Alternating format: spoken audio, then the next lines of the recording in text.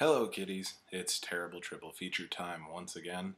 Unfortunately, Black Awesomeness is over as February is finished and now it is March. Uh, fortunately, this is the time of McDonald's Shamrock Shake, which I look forward to every year.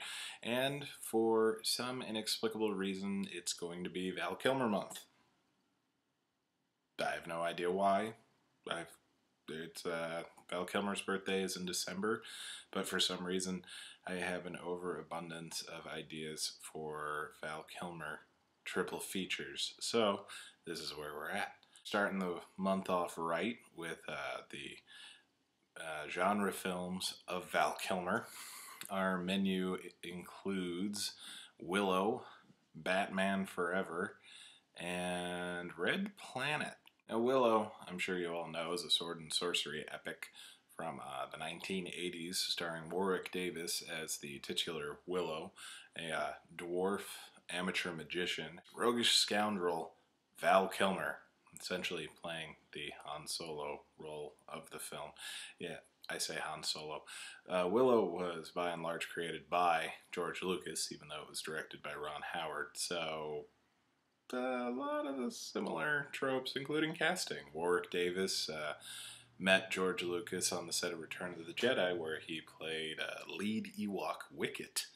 And I'm pretty sure he played Wicket in all the subsequent incarnations and had quite a few different roles in um, episode one. But we're talking about Val Kilmer playing Madmartigan. This is one of Val's better performances where he's just, you know, charming, fun, completely in shape, as it was still the 80s. And it was kind of an impressive uh, role choice for him. Uh, under his belt, he'd already had uh, Real Genius, Top Secret, and Top Gun. So it's not like he wasn't popular and was, you know, just taking things to tape things. He, you know, seemed to really want to make this movie and, you know, have fun, which he clearly did. Val Kilmer doesn't always have fun on the sets of his films, as uh, you'll we'll find out as the month goes on. Usually, he's just you know something of a pain in the ass, is uh, the phrase people have used, but not so here. Uh, and why should he be? He's uh, running around, awesome hair, awesome outfit. And uh, this is one of the earlier films, if not the first one he did with Joanne Whaley, who he would later go on to marry. So, all around, a good time for uh, Val Kilmer on the set of uh, Willow. Good on Val Kilmer, but he went for it because it looked interesting and would present a challenge. No less daunting would would be uh, filling in the shoes of a role previously done very well by an actor, but let alone a role in which you wear about 90 pounds of rubber.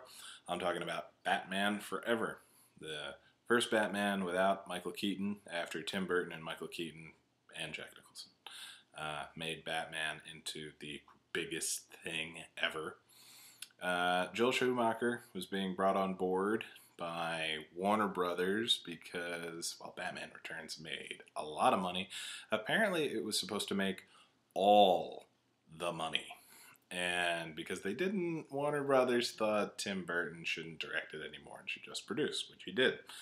They thought Joel Schumacher was the guy to bring in the big, big money. Great job, Warner Brothers. So Joel Schumacher wanted to bring it turn it into, you know, a bit of a lighter, campier movie.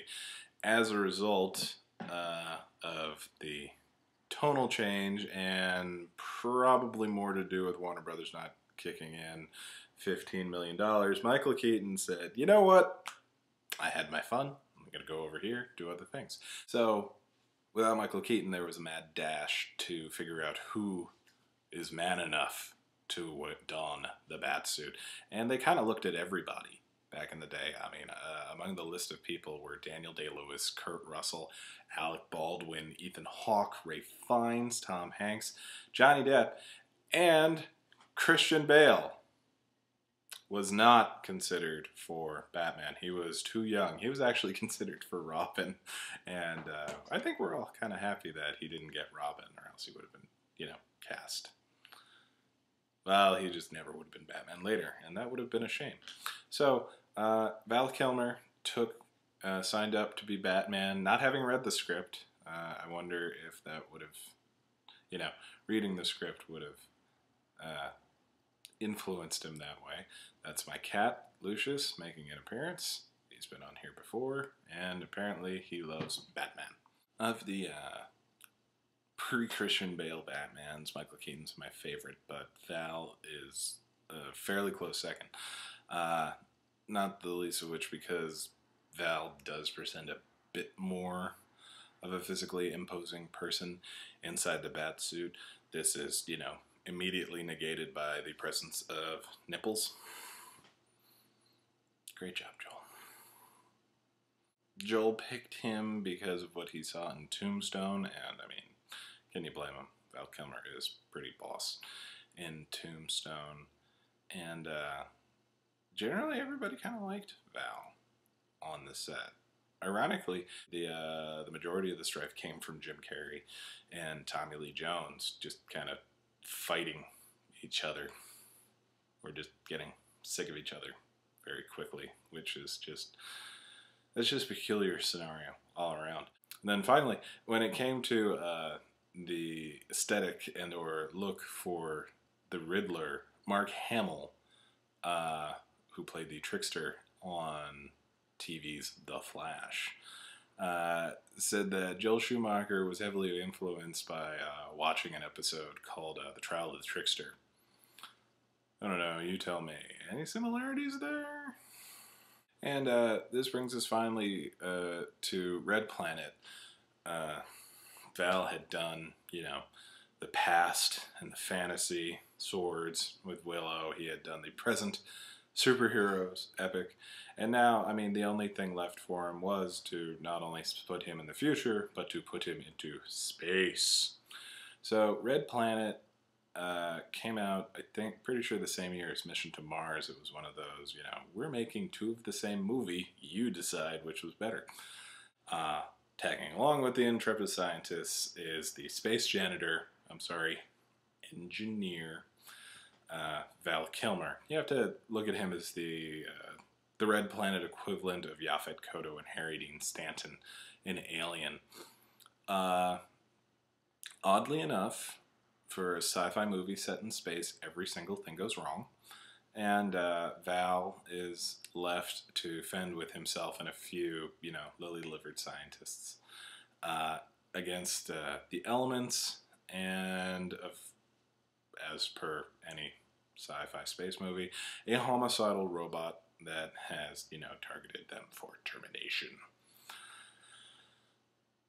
Yeah, the movie's all over the place. Um, it is kind of fun. This, uh, whereas Willow was more of a, you know, choice and or decision to take a challenge, uh, Red Planet feels like the beginning of the end for Val Kilmer. Uh, it's unfortunate that he's uh, been relegated to directed video land, but uh, this is definitely one of you know the bumps on the otherwise downward trajectory. He's really fun in it. Don't get me wrong. I really like him in it. This was he was full on Val Kilmer in this movie, and as such had an incredible.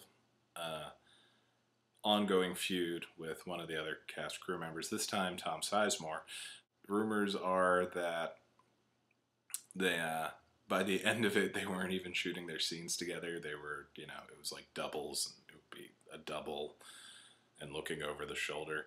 Uh, apparently, this grew out of Tom Sizemore getting some sort of exercise machine and Val being jealous of it. you know, really important shit. And uh, but the movie was pre- I, I, thought the movie was pretty good. It's definitely watchable. It's worth uh, you know wasting an afternoon on. Um, but there you have it.